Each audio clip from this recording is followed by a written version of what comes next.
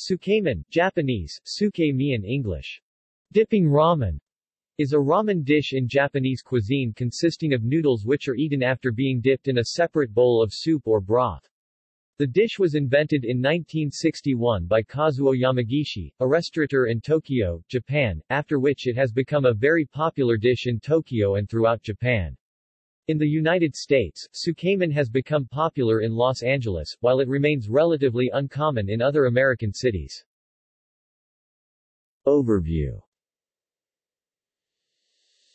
Tsukemen is a Japanese noodle ramen dish in Japanese cuisine consisting of separate servings of noodles and soup or broth, whereby the noodles are dipped in the soup.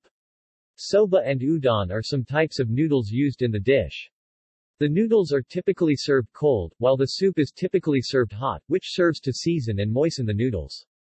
The noodles can also be served at room temperature.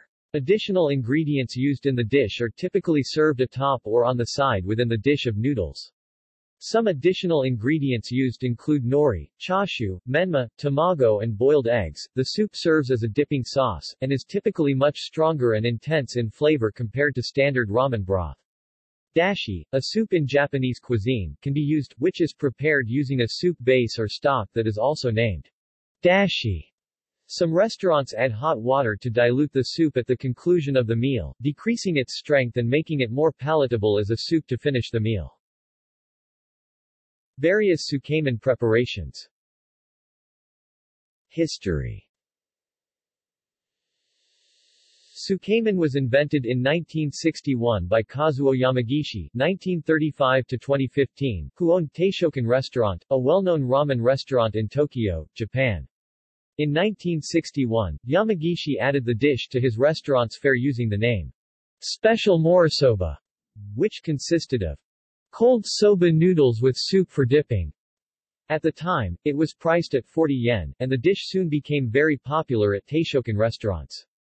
As of 2015, over 100 Taishoken restaurants exist in Japan. In recent years, circa 2000 present, tsukemen has become a very popular dish in Tokyo and throughout Japan, and several restaurants now exist in the country that purvey it exclusively. Tsukemen is also served in restaurants in the United States and in other countries. In recent years, circa 2013 present, tsukemen has become a popular dish in some ramen shops in Los Angeles. Conversely, in other areas of the U.S., such as Chicago, the dish is uncommon and rarely served in restaurants. See also List of Japanese soups and stews List of noodle dishes List of ramen dishes References External links